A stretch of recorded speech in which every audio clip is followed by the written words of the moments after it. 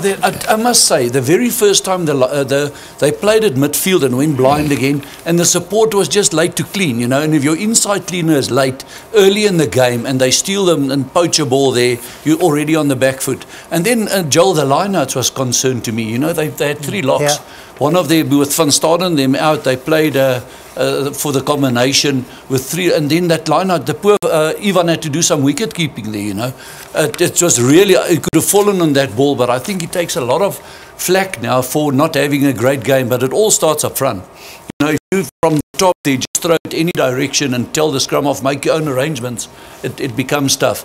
But I must say, strat, you know, the kicking worried me a bit. Uh, who every time we just hit it up, uh, uh, Smith was not on song, you know.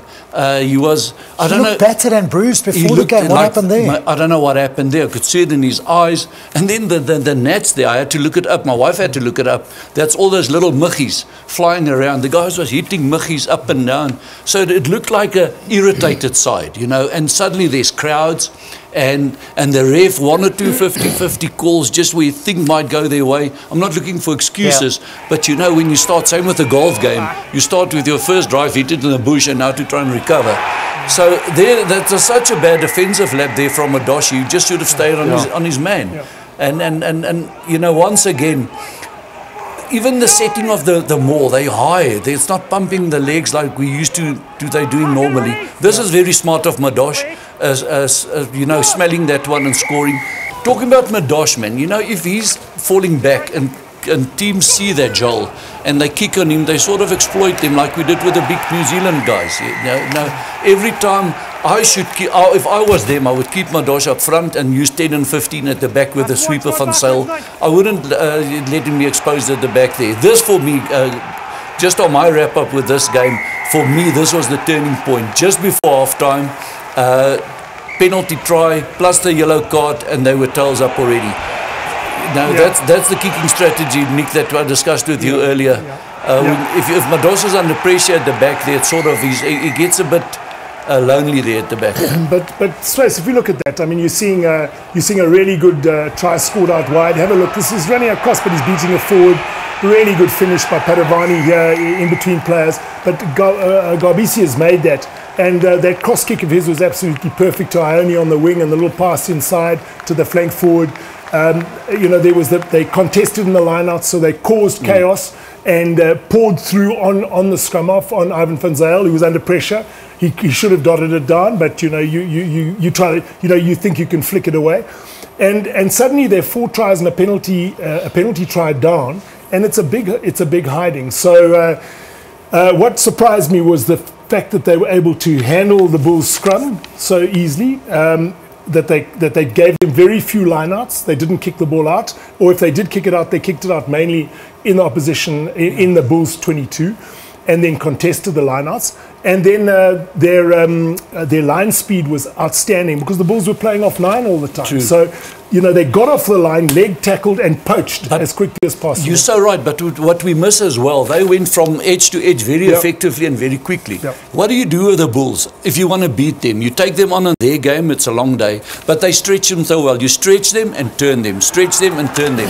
And, and you know, that's what normally happens there. But that's what I said with with a fly off there, caught under pressure there, and now it's panic stages. Again, look where they've got to play the whole game. They're not used to it. They're used to playing down and you off. Now suddenly they've got to try and survive for 80 minutes.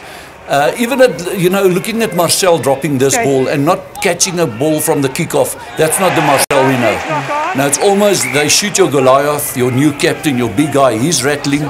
So, and you don't have a Mornay, there's not other role players. Don't get me wrong, I rate Marcel. So, so Swys, let me ask you this. When the, the, defensive line is coming up as quickly as this, how do you change it? What do you do differently? Yeah, you see, that's the thing. you got to maybe change direction a bit, come a bit closer. Look at the new spaces. Where's the new, like there they're rushing now. But if they change direction, there is always uh, some catch-up defender not in that rush line. So what they did, yeah, the Bulls, they rushed the Bulls and the Bulls didn't adapt. Solo runners behind the game line. Yeah. Solo runner behind the game line. And there was no variation. Maybe look there in the behind the ruck, there's space. So That's just pick and go a bit. That's Just change direction. But yeah, but they're So also making good tackles. As much as Yeah. you, you're getting line speed, they're making leg tackles at line speed. So it's hard to get momentum, especially when you've got one off runners. So that's why I keep saying that they did their homework, realizing that the Bulls, they probably get so many carries off nine. How many times do you see the forwards passing, looking at the option behind the back? And all of that. So every time they got that, then once you make a leg tackle, what happens next? The poachers and you're getting slow ball, the line's up again, they keep coming back. So it becomes a hard day in terms of getting momentum. Where the Bulls were good was off lineouts, where they could use start and off, Cornal mm. Hendrick short, they get behind you, forwards coming around the corner. Then you can't get line speed because they've gotten fast ball off the first track. But now they didn't do that. They struggled. They didn't have any lineouts. So that They had no was taken- yeah, They had no attacking lineouts. So that's taken away from them, which was their biggest strength. So they could do that. Once you start watching the vacuum, they start mauling you. Then it's hard to stop the maul because you're worried around that. So they could play around with the lineouts. I think where it fell apart was the kicking game, where the, the young Italian flower hmm. just kept pinning them back the whole time, pinning them back. And also the Bulls have got passive, defensively quite passive. so you can get around it. Yeah. They turn shoulders. Uh, is it Sebastian Negri, the, the, Yeah, the flanker? yeah, flanker. Every Big time we strong come running onto that ball and we just dominate. You But touched on that's- Garbisi, but his Yeah. kicking game was absolutely unbelievable. Have a outstanding. look at the, at the next one. But the there, next guys, one. it was from a kickoff and no Yeah. one catches no, it. That Over goes Marcel's over head. Marcel's head. But if you look at this Number next scrum, which is coming up, I think just now, you'll see uh, that this is a, a- a- a real clever example. They move the ball to, as though they're going to the left. That's the Bulls winger who's come across to cover for the fullback who takes the last man. And Garbisi, left-footed, knows there's a space there, kicks straight into the space. It's a line-out in your 22 under pressure again. So their kicking game worked very, very well. I mean, this was an exceptional catch and a very good little pop inside. I mean, everything worked for them. They played, they played. But listen, give them another thing we need to give them credit for. They thought they planned really well for this. Everything worked for them, but there was much more enthusiasm from them than there was from the Bulls. When I say enthusiasm, you look at the at the, at the contact situations, guys getting off the floor, the, the work without the ball, getting back into position. Your two guys back. Hayward was outstanding at the back, you know, ca- catching every, everything that the Yeah. Bulls kicked for him, and and and kicking it back with interest. So.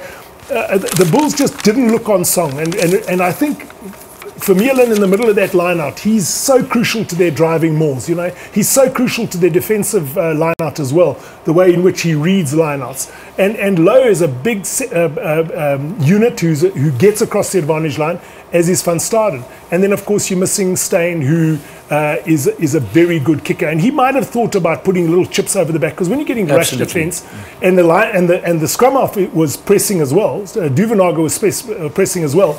There was space just uh, just behind their line. There's always space if, if you if Yeah. you've got a fly off who can. We always speak about the five spaces. You ask me, what do you do the rush defense? They, they, if they rush here, there might be disconnection there. Or the winger might, there's always one of the spaces available and they couldn't adapt. But what I did love about, about Garbisi and the, and the Benetton side, Joel, what I really loved about them, how they varied their kick. That one kick was straight away from the line out, as Nick showed there, straight into the space there behind. And the Bulls turn around again. The other time, Duvenachter kick, kicked it twice. And now suddenly I thought they're going to do a back peel of the, of the, of the, of the maul there. And what does he do? He kicks a cross kick. So Madosh is, is, was caught napping there again. So they ID'd the spaces the whole time.